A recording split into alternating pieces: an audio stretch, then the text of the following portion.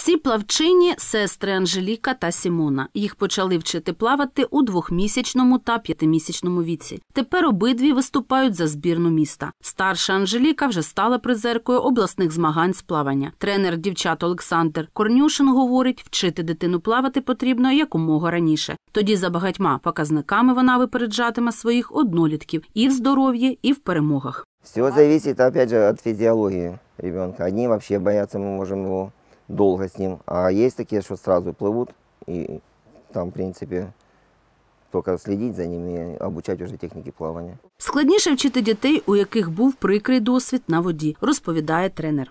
Если ребенок уже испугался, тогда, конечно, более проблематично его научить, но тем не менее, были такие случаи, что, ну, не тоже были, постоянно учим. Немножко дольше этот процесс проходит, вот. но, тем не менее, обучаем, восстанавливаем и формируется ребенок. Плавання не тільки фізично розвиває та загартовує дитину. Ці навички неоціненні і в питанні безпеки дітей. Рятувальники наполягають, вміння плавати є першою умовою безпечного відпочинку та застерігають, навіть той, хто добре плаває, повинен безумовно дотримуватись правил поведінки на воді. Сумна статистика літа у кар'єрі на Карачунах потонув 14-річний хлопчик. А в річці Саксагань у Тернівському районі вода забрала життя семирічної дівчинки. Варто пам'ятати, що основними умовами безпеки є правильний вибір та обладнання купальних місць, суворе дотримання правил поведінки під час купання і катання на плавзасобах, постійний контроль за дітьми у воді з боку дорослих.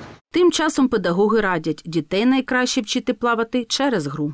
Только игровым способом они забывают, что есть такое, что стр- есть страх, что можно утонуть, потому что по-любому где-то он слышал и все равно рассказывают родители в школе, говорят, что можно утонуть. Но это правильно.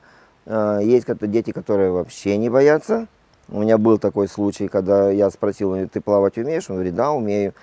Его сестра прыгнула, поплыла, он прыгнул, начал тонуть. Ну, моментально, понятное дело, что мы его поймали, Шоста спортивна школа прийматиме новачків. Тут займаються з дітьми із шестирічного віку. К нам приходят детки, и те, которые уже ходили к нам, которые уже прошли экзамены, сдали и прошли по своим нормативам, и приходят новички. Для новичков э, нужно иметь справочку от участкового врача, что он имеет право заниматься э, плавательном бассейне.